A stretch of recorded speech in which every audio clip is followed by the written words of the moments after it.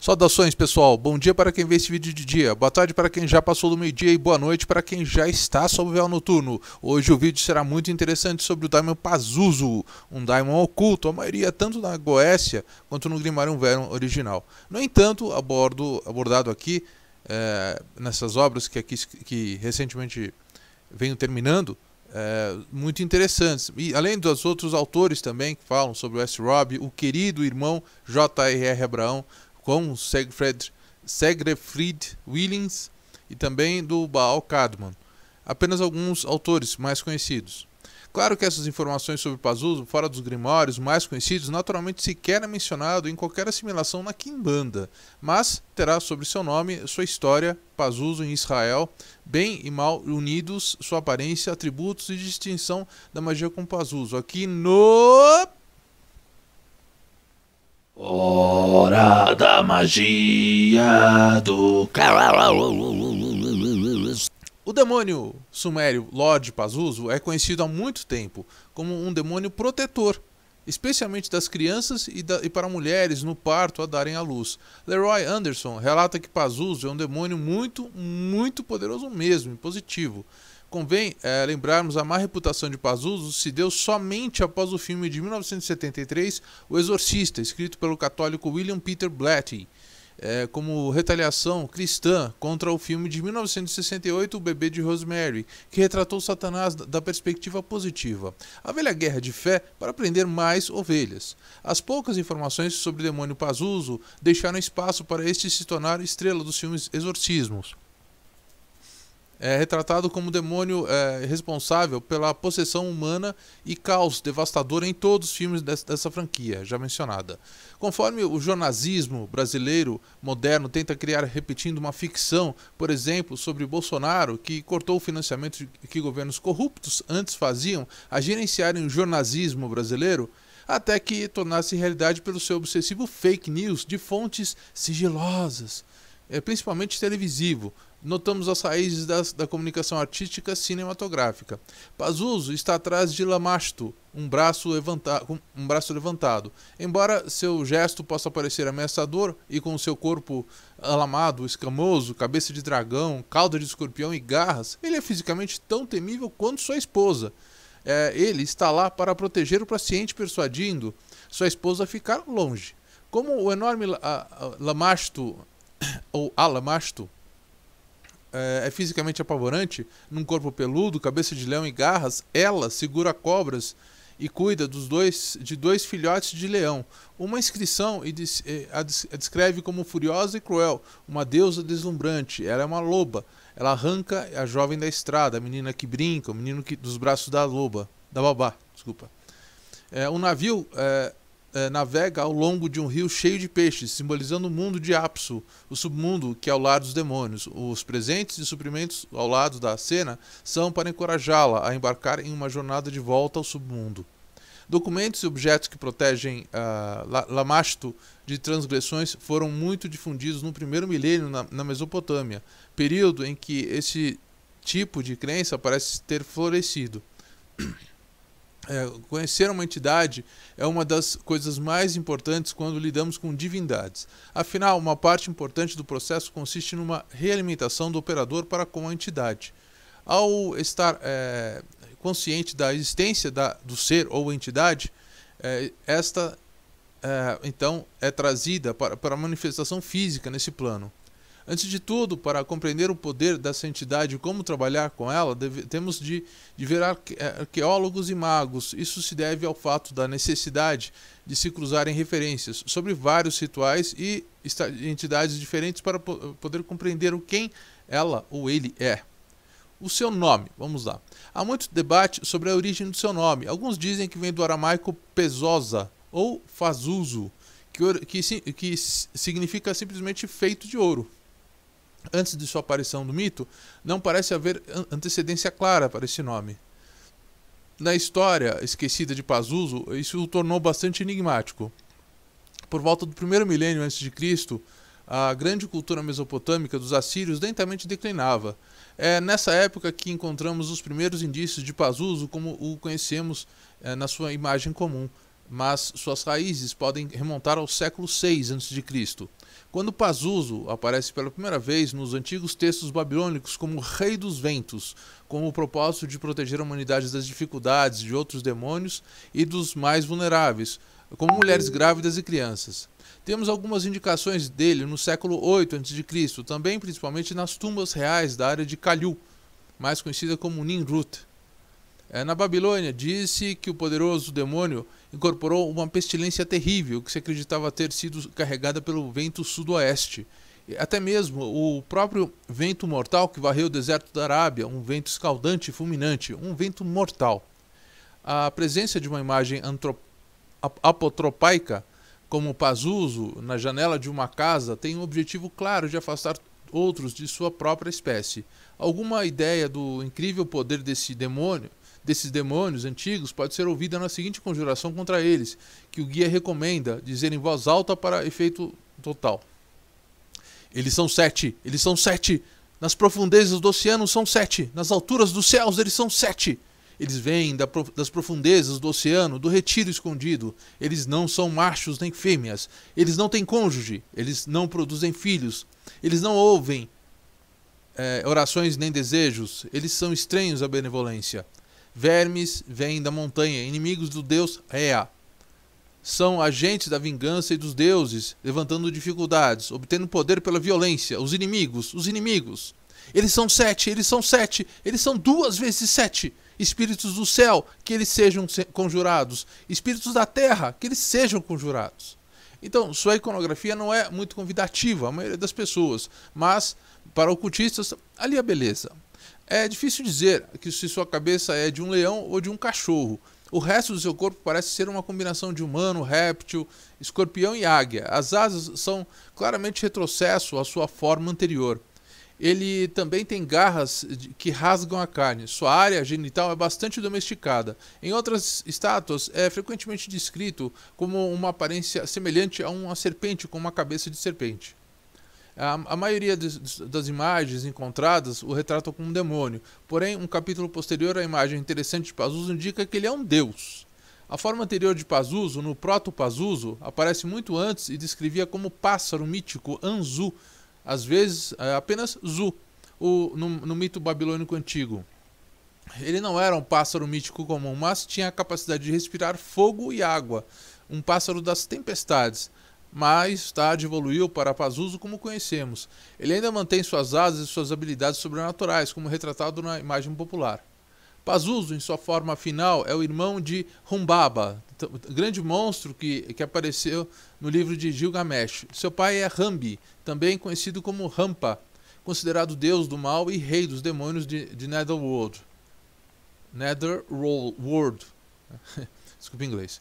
É, ele reuniria todos os elementos no mal a, a, cumprir suas ordens. Não se sabe muito sobre Rambi, mas sabemos com certeza que ele é do é, pai do, de Pazuzu, porque por trás das asas de Pazuzu uma inscrição diz: Eu sou Pazuzu, filho de Rampa, rei dos espíritos malignos do ar, que sai violentamente das montanhas, causando muitos estragos.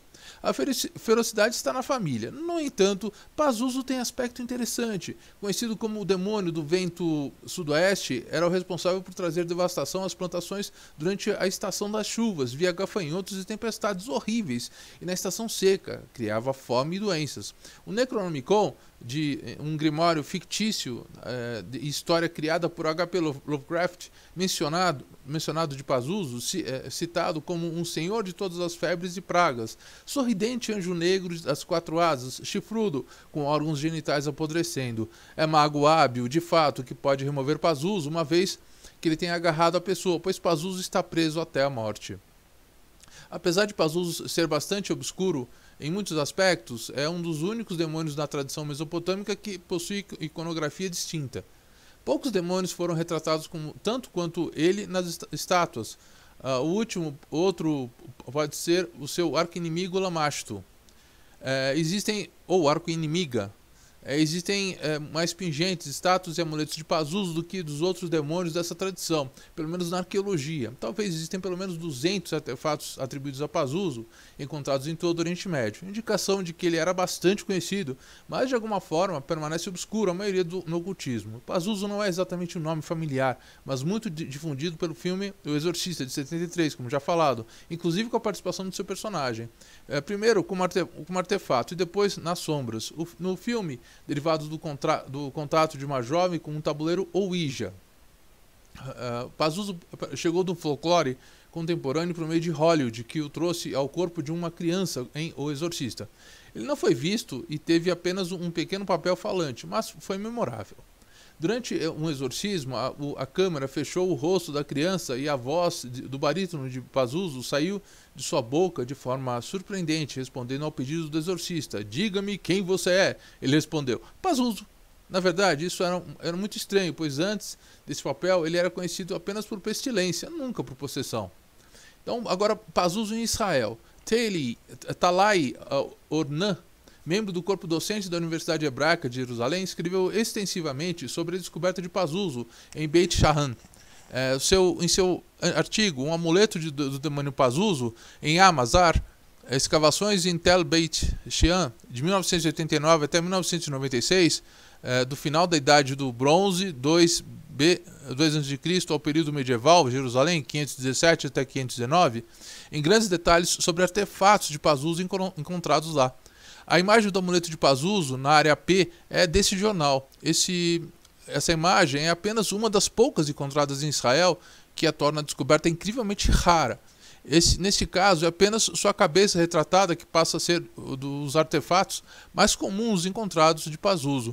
Na, na, sua imagem seria usada como pingente afastar o mal. Não é tão comum encontrar estátuas dele em sua forma completa, mas existem. Um artefato, ah, um, um achado muito, muito fascinante são os selos encontrados em Jerusalém com sua imagem, conforme a imagem listada por Gabay U em 2001, na coleção de objetos Pazuzu em Jerusalém, publicados no Revue da, da, da, da et d'Archéologie Oriental, é, na página 94, quer dizer, página 149. Com significado é, desconhecido, as diferentes manifestações abrem análise para muitas opções sobre o seu aspecto triplo, conforme a imagem do selo BLMJ 1060 do Museu de Israel. Ah, a, a, a função dele é, temos que ressaltar agora, bem mal unidos. Um aspecto interessante de Pazuzu que o destaca que apenas por Belzebu, o príncipe dos demônios, que esse sujeito, Jesus, expulsa os demônios. Jesus conhecia seus pensamentos e disse-lhes: Todo reino dividido contra si mesmo será arruinado, e toda cidade ou casa dividida contra si mesmo se, se, não subsistirá. Se Satanás expulsar Satanás, ele estará dividido contra si mesmo. Então, como então pode seu reino permanecer? Segundo fala Mateus 12, 24 até 12, 26. Nesse encontro é, do Novo Testamento, somos confrontados com a noção muito famosa de que o mal não expulsa o mal. Parte da famosa ideia, casa dividida contra si mesma não suporta. Mas existem muitos amuletos e práticas mágicas que podem afastar o mal olhado e proteger contra outros infortúnios da magia apotropaica. É, nessa magia destinada a prevenir infortúnios e o mal, esta é provavelmente a segunda magia mais popular do mundo ocultista, considerado mal, frequentemente usado a afastar outras entidades do mal. É, evidências sugerem que ele era acréscimo bem-vindo à família de doentes e ao mesmo tempo das pessoas más. Foi especialmente eficaz contra o assassino de bebês chamado Lamasto. Curiosamente, Lamasto tem reputação semelhante com a deusa e demônio Lilith. Semelhante, não é a mesma.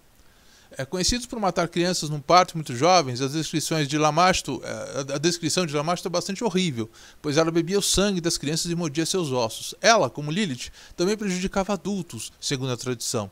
Ao longo da história, Lamasto e Lilith, Lilith, Lilith desculpa, muitas vezes se confundiram, mas na verdade são entidades diferentes. O Lilo, ao qual Lilith está associada, é claramente diferenciado do Lamasto abaixo. O perverso, o Tuco, que mata o homem vivo na planície, o Mavado Alu, que, que, cobre o homem, entre aspas, né, com uma roupa, como uma roupa. O perverso Etimo, a, a, o perverso Galu, que amarra o corpo. O Lamé, ou Lamasto, ou o Lamé, Labasu, que causam doenças do corpo. A Lilu, que vagueia pela planície. Elas se aproximaram de um homem sofre sofredor do lado de fora.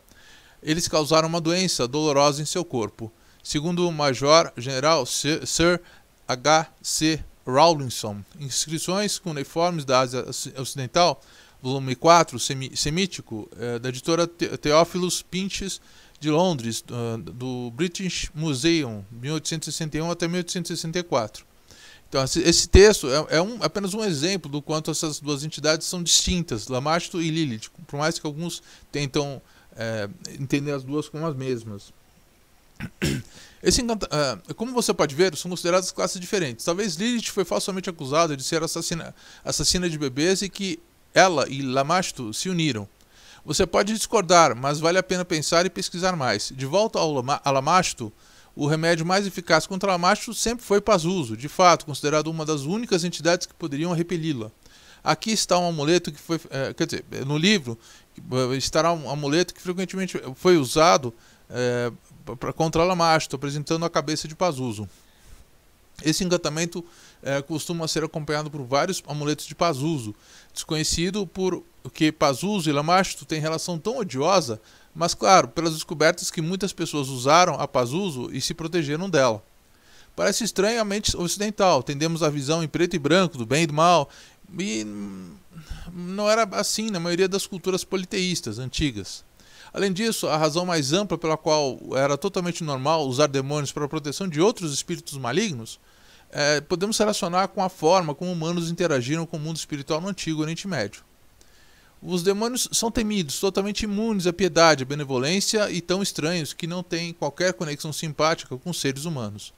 A conjuração não é dirigida especificamente a um outro demônio, como, como, eu já citei antes, porque nunca se sabia qual dos espíritos demoníacos poderia ser o agente do desastre. Pazuzu, grotesco como é, era apenas mais um entre uma terrível multidão de espíritos ou seres semelhantes que transmitiam doenças às famílias nos tempos antigos. Ele era poderoso o suficiente para ser empregado para evitar outros. Embora tenhamos eh, classificado seres bons e maus para diferenciá-los facilmente, o fato é que no antigo Oriente Médio, seres espirituais tendiam a não ser uma bússola moral específica. Os bons não eram tão bons e os maus não eram tão maus. Eles eram, de muitas maneiras, amorais. Isso porque sua capacidade de fazer o bem e o mal foi facilmente manipulada por humanos por meio da magia e outros tipos de mitos, de ritos, desculpa, espirituais, muitas vezes envolvendo oferendas. Eles podem essencialmente serem comprados por falta de um, temor, de um termo melhor é, essas ofertas apaziguaram os maus e faziam praticamente qualquer coisa que você precisasse, mesmo que isso significasse que precisa, precisariam agir de forma contrária às naturezas que eram conhecidas por terem. Ou seja, o, um demônio pode fazer o bem e o demônio bom pode fazer o mal, com base nos rituais e nas ofertas que você ofereceu. É muito parecido com a forma como lidamos com os demônios no Oeste. Os demônios estão mais do que dispostos a fazer bem se você lhes der uma oferenda e honra. No entanto, não se aplica aos anjos. Será difícil encontrar alguém que trabalhe magia negra com anjos Gabriel e Miguel, por exemplo, embora tenha certeza de que, de que as pessoas tentam.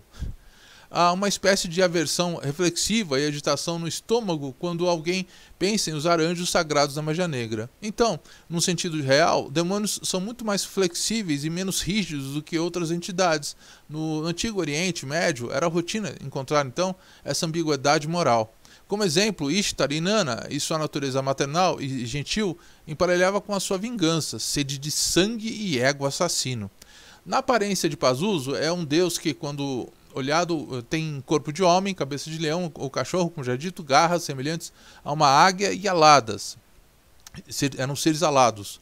Pazuzu é uma criatura híbrida, com pés de águia, patas de, falcão, de leão, cabeça de cachorro, cauda de escorpião e quatro asas. Metade de sua cabeça não tem pele e o crânio está exposto. Ele, ele tem uma, care, uma careta mortal. Pazuzu, melhor, a imagem dele seria encontrado é, empoleirado na janela de qualquer casa antiga, voltado para fora. Nos atributos, o Pazuzu foi casado com Lamachos, como já falado. As histórias de Lamacho sugerem que ela ou ele foi a esposa, foi a resposta para a doença e causou a morte de recém-nascidos e crianças. Lamacho é frequentemente retratado como um híbrido mitológico, como um corpo peludo, é, que, com uma cabeça de leoa, com dentes e orelhas de burro, de, dedos e unhas longos e pernas de pássaros com garras afiadas. Ela, a Lamashto, é frequentemente mostrada em, em pé de, ou ajoelhada em um burro, uh, amamentando um porco e um cachorro e segurando cobras. Portanto, é, ela tem uh, algumas funções e a semelhança com o demônio mesopotâmico Lilith. Lamashto era uma mulher demônio, monstro, deusa malévola ou semideus que ameaçava mulheres durante o parto e, se possível, raptava crianças enquanto elas estavam amamentando. Roeu seus roía né, seus ossos e sugava seus sangues, além de ser acusada de outros atos malignos. Ela era filha do deus do céu, Anu. Anu, isso mesmo, Deus mesmo, do, do dos Anunnakis. Então já viu que a coisa não era brincadeira não. Então Pazuzu, é, no caso o, Daimon que tratamos aqui nesse vídeo, usou seu status para proteger a vida humana de demônios, como protegê-los de sua esposa, que mais era esposa dele. Portanto, as estátuas e placas de Pazuzu não eram objetos do mal, mas comumente usados por pessoas dos tempos antigos para protegerem seus entes queridos. Muitas pessoas adornavam suas casas e camas com estátuas e placas de Pazuzu, a afastarem outros demônios e entidades de nível inferior. Pazuzu é um demônio do vento sudoeste, conhecido por trazer fome durante as estações secas e gafanhotos durante as estações chuvosas, isso no Oriente Médio. Tá? Pazuzu era invocado em, em amuletos apotropaicos, que combatiam os poderes de sua rival, malévola deusa Lamasto, Lamasto, desculpa, que se acreditava causar danos à mãe e ao filho durante o parto. Pazuzu, então, é o rei dos demônios dos ventos, representa representação dos ventos do sudoeste, portador das tempestades e secas também. Embora Pazuzu esteja por isso ligado a ventos, tempestades e secas, na verdade seu poder eh, seria considerado consideravelmente mais versátil e o poder da própria magia. Embora Pazuzu seja considerado um, um, espírito maligno, ele afasta e assusta outros espíritos malignos, protegendo assim os, os humanos contra as pragas e infortúnios.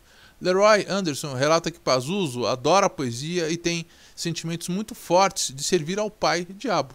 Ele inspira poetas e adora ser lembrado. Se você for amigável com ele, ele te protegerá e poderá lhe dar uma visão sobre o, o que seus inimigos estão fazendo. Ele é muito, muito sociável com seus pedidos bem simbólicos e, por que não simples, ele é um bom amigo. Não considerado o mais gentil dos demônios, ao mesmo tempo é protetor quando ele vem até você. Nem sempre é de maneira rude, mas muitas vezes subjugado. Na magia com Pazuzu, uh, nessa proposta, na, na, proposta do livro, uh, os objetos utilizados são os mais simples possíveis, usados, quando disponível, é, um texto antigo derivado de algumas tabuinhas que foram atribuídas a ele, mas de forma acessível. Mas note que nem todos esses, os rituais no livro são adequados a todos. Então, é, não execute qualquer ritual no livro que, caso um, de, um desses casos, não, você não sinta conforto em fazê-los.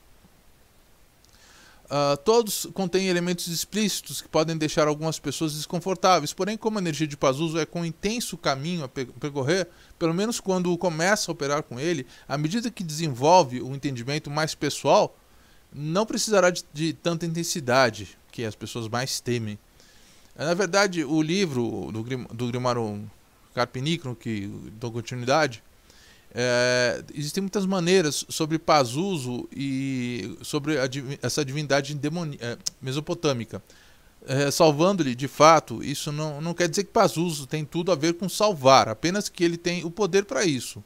Mas salvar precisa de esclarecimento. Não é algum Deus simples que afirma lhe salvar enquanto é, nada acontece ou leva o crédito pelo, pelo teu trabalho, mas um Deus que realmente te salva de te fazer pessoa refém ou lhe transformando em pessoa escrava da, da própria morte, em suma, e, é, economia geral, real. É, na verdade, quando qualquer entidade tem isso é, como seu domínio de poder, presumindo que tenha um, isso é sempre especialmente bom porque podem então serem usados para trabalhar magia, para qualquer coisa. Mas não deixe que os outros te façam pensar em si e, portanto, na singularidade de tua vontade como algo trivial. Ao contrário, é a coisa mais importante na magia. Entenda que essa, essa, essas magias de Pazuzu são simples, viáveis a qualquer momento em qualquer lugar. A liberdade é o nosso direito. Assim, uh, ainda, e ainda assim, no, nós ou aqueles antes de nós demos ou barganhamos muito disso e isso não é certo. Isso significa que a liberdade real conhecida pelas pessoas nos tempos antigos se foi. E ainda assim houve muitas, muitas coisas desagradáveis que ocorreram naquela época, que foram todas realmente causadas pela liberdade? Será? Com tudo isso em mente, espero que você possa ver e entender por que precisamos dessa magia que está dentro dessas páginas do livro que, que em voga que estou terminando. Para invocar Pazuzu, em muitas atividades usa, são usadas uh, os antigos deuses egípcios chamado Eka, Aker. Desculpa. Aker é frequentemente visto como disco solar ou guardado por leões, ou a boca de um leão, e ele é literalmente um portal através do qual Aker uh, deve caminhar ao mundo. Aker é, portanto, pelo, uh, porta pela qual Pazuzu passeará em nosso mundo. Mas fechamos o portal depois de falarmos com Pazuzu e ele voltará ao seu reino. Isso significa que muitas vezes essas divindades nos veem e agem é, de outro reino inteiramente, e ainda assim está ao nosso lado. A primeira magia que aprender, é, que aprenderá a obter a ajuda de Pazuzu, é Pazuzu para nos ajudar a sobreviver e prosperar. Isso pode parecer objeto modesto, mas nada poderia vir da, da, da verdade, pois sobreviver e prosperar significa viver em grande estilo, de alguma forma ou meio. Significa que, mesmo que as, as, situações em que se encontre pareçam perigosas ou desfavoráveis, não permanecerá assim e, e, e o fará por causa da ajuda de Pazuzu e de suas, suas próprias ações. Suas, não do Pazuzu. Esse demônio de hoje não está no Grimário Verno da Libeck, original, é, no entanto, muito utilizado para atuar principalmente na psique coletiva, mesmo sendo um daimon do segundo Ikelon. Quer dizer, nem, podemos dizer no, de qual é que ele não está, porque é, na magia luciferiana e nem é, na magia satânica ele é comumente mencionado. Só, só recentemente que alguns praticantes passam a inseri-lo nas práticas. Então temos poucas bases para estudarmos nos livros antigos. No entanto, experiências de muitas pessoas praticantes, é, principalmente de um contato mais recente com esse daimon, nos abrem um de estudo, análise prática, mais pela experiência do que qualquer tese acadêmica, que vira dogma teológico, tema de discurso entre leigos. Aliás, apesar das poucas, mas objetivas informações disponíveis sobre, ofereço-lhes essa coleta de nossas práticas, também sempre contando com muito apoio do sábio J.R. Brown, querendo o livro que ele, ele ele nos, nos contempla, que já, eu já adquiri, recomendo que adquira também, no estudo e na prática, onde ele sempre, pelo menos, eh, me traz é, excelentes é, orientações e também indica livros, para eu poder me aprofundar cada vez mais no assunto. Ah, novamente, lembro o meu pedido para que não comprem o Grimário Verum Carpenicron, é, atualmente ainda à venda na editora Baco 2, que fatalmente quando tiver o direito da, da coleção nova, eu, eu retirarei. É, é, atualmente na venda na editora Baco 2 é, e também na Amazon e grandes livrarias, né? É, que podem acessar também pelo link da descrição. Por quê? Porque, como eu já disse, eu estou escrevendo o Grimarum Verum, mais completo que serve para neófitos, iniciantes, praticantes e também mestres. Entenda que o volume atual à venda tem cerca de poucas 300 páginas, tamanho A5, com 210 por 148 milímetros. É o padrão tradicional para livros em português, pequeno. Isso não é uma regra e nenhum descaso, é apenas um, o destaque ao formato comum. Essa segunda edição que escrevo atualmente já tem quatro volumes. Isso. Que você poderá comprar separadamente, cada um com mais de 500 páginas, tamanho A4, de 297 por 210 milímetros. Ou seja, o dobro do tamanho com quase o dobro de páginas é, que você é, poderá adquirir separadamente. Essa edição nova que escrevo, dividida em quatro volumes, tem muita informação, uma variedade de daimos em apenas uma obra das maiores do mundo e com atividades práticas nunca vistas numa obra apenas fora de enciclopédias, que nos passam informações muito resumidas, nada tão complexo quanto os livros ancestrais que tínhamos na época de Salomão, ou pelo menos titulado como proveniente de Salomão. Tem muita coisa. Eu já estou na magia sexual, principalmente no trato de sucubus e íncubos, no último volume para eu terminar. Entendo depois necessidade da revisão ao terminar os quatro volumes. Aliás, todos esses vídeos sobre o Grimarium Verum é, e também os, apenas alguns 72 daimons importantes que não aparecem nem na, na Goécia, com muitas outras informações ausentes também nem no, no Grimarium Verum original, parte do que apresentei nessa segunda edição, com práticas, claro. Repito que escolhi a inspiração no basicão do Grimário Velho original, do Alibeck, excluído já, o já escrito no, na coleção Grimário Goécia, que eu já fiz, né? muito boa, por sinal, para ir muito, muito além. De qualquer forma, desde já agradeço o apoio de todos e todas que me, vocês me oferecem assistindo esses vídeos. E é como eu falo, é apenas o começo e temos muito chão para caminharmos. Cada pessoa no seu caminho. Assim, quem opta pela magia negra, apresentada aqui nesses vídeos, eh, seja por si, para si mesma ou para outras pessoas que necessitam de atendimento eh, de forma crescente e comum demanda, apesar da nossa arte em todos os tempos focar na satisfação e realização pessoal, eu sou e continuo aberto para sempre aprender mais, inclusive com suas críticas, suas ou vossas críticas, nos comentários aí embaixo, pois eu sou tão humano quanto vocês e também posso errar. Mas lembre-se, sou eterno aprendiz e claro que gostaria que, de ponderar com vocês as vossas argumentações e considerações ou apontamentos ou dicas sobre o que eu falei ou deixei de falar, ok? Aí embaixo, Técnico nos comentários para que tão breve eu possa, pelo menos eu possa lhes responder, se não as outras pessoas mais que leem os comentários e também aprenda com vocês. Ou apenas deixe o coração de apreciação ou like. É, isso é muito legal, viu, pessoal? Então, terminando, novamente, eu agradeço os patrocinadores que compram os meus vários livros em volume cada vez maior e também as pessoas que simpatizam com as práticas ou sobre minha imitação ou solicitando para fazê-las, as próprias pessoas. Essa é a intenção. Vocês me auxiliam a desenvolverem mais livros e também esses vídeos. Reitero que é muito importante para mim é, oferecer o conteúdo desses vídeos, em grande parte com informações inéditas aqui no Brasil na língua portuguesa, quando falo mais da prática do que de livros, outros livros no caso. Aliás, a maioria dos livros por mim publicados são sobre a prática da magia para que vocês as façam, mais do que me venerarem como mestre ou um homem inteligente, pois fatalmente não busco nada, não busco dar comida para o meu ego principalmente depois na magia que vocês praticarem, baseados nos livros que eu escrevo, são os livros que importam, não o que eu sou ou o que eu tenho, uh, o que eu apareço, pois isso tem pouco efeito, ok? Obrigadão pelo apoio e até o próximo vídeo. Abração. Fui!